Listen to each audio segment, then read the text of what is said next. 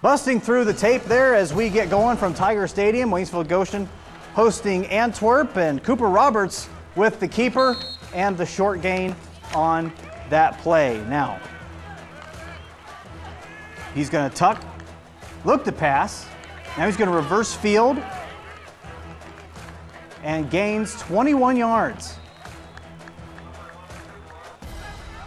But nothing doing on that drive, so Antwerp gets the ball. Blake comes up with it, and he picks up a nice gain going down the sideline, eventually pushed out of bounds, but Antwerp unable to get anything going on that drive. Both defenses holding serve in this one back to Waynesfield Goshen, and Blake Barnes coming up with a nice gain, but that drive would stall out as we go back to Antwerp and looking for Blake once again. He finds him, this time over the middle for a pass, and nice little kind of like a Euro step there a little bit, gets out past the 20 yard line, and then a couple plays later, pass to the end zone, looking corner of the end zone for his man, and as he's falling out of the end zone, Leighton Campbell takes it away from him, keeps a foot inbounds, and comes away with the interception and the touchback, but Antwerp coming away with the win tonight, 20 to 17.